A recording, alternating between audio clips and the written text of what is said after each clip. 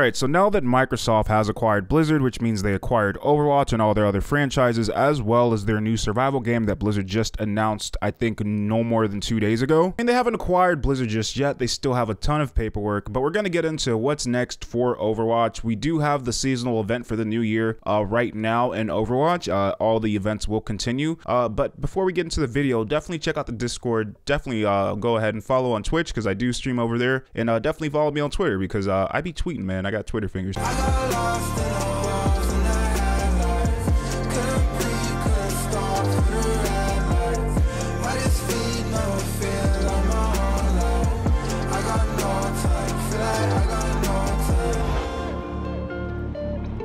Alright, so sometime this week, the producer Tracy Kennedy did end up blaming Bobby Kotick for a lot of the setbacks that happened in Overwatch 2. He'd be blamed for a lot of the setbacks that are still happening. Seems like when one thing would be completed, Bobby would then ask the team to switch things up, or certain things would just be pulled out even after all the work would be would be would be done, and then other things would be put in just to get pulled out um, and he could never actually decisive when it came to certain things for Overwatch 2, as well as some of other other uh, Blizzard games as well. Two is if you have a CEO who's the head of everything else within the company and they can't really decide on one thing besides what to put in the latest Call of Duty market, uh, that's a huge issue and that will cause a lot of problems for the development of a game, especially a game as big and as popular as Overwatch. I'm not sure if Blizzard is going to be in the mood or Bobby's in the mood to really nuke their their branding or their um, goodwill that they still have, some goodwill that they still have left, especially with this Microsoft acquisition,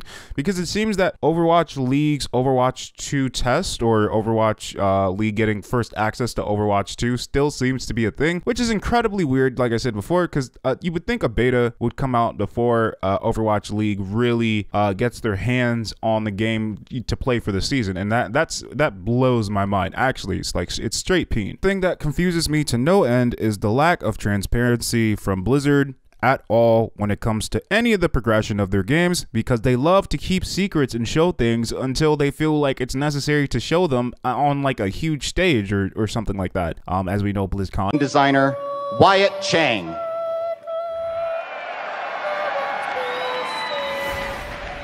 BlizzCon, we want to use mobile devices as the platform for a new Diablo game because nothing brings a family together like slaying demons.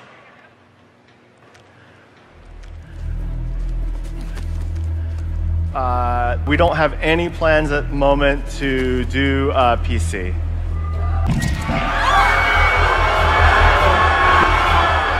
Do you guys not have phones? Yeah, you guys all have phones, right? Whole view when it comes to to putting out updates on their games is so prehistoric and like old that it's just like have you not learned from any other companies that have been way transparent with their progression and development of their games? Just talk about it. And yet they still think it's okay just to be secretive when it comes to anything they make and then announce it um at a stage where you don't know what the reaction is going to be, as we've seen from Diablo Immortal. And it just it's really, really, really sad, man. Um, the best thing that can happen and, and still is happening is this acquisition from Microsoft, where I think a lot of the the approach or approaches that Blizzard has when it comes to giving updates on their games will get thrown out the window. The sad thing is with Overwatch League getting their hands on Overwatch 2 first, from what it seems, that still seems to be the case. We're going back to only watch, and that really, really irritates me because if you were around when Overwatch first got announced and then like released as like a beta, you could only really watch it because you had to get like a special drop, and no, not everybody got that drop. So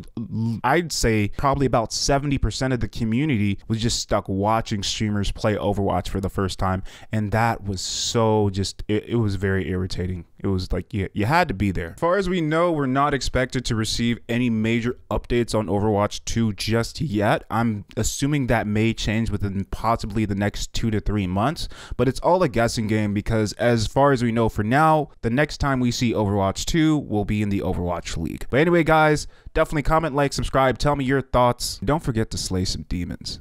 All right, guys, till next time. Yo, thank you, man. Appreciate it, guys. Have a good day.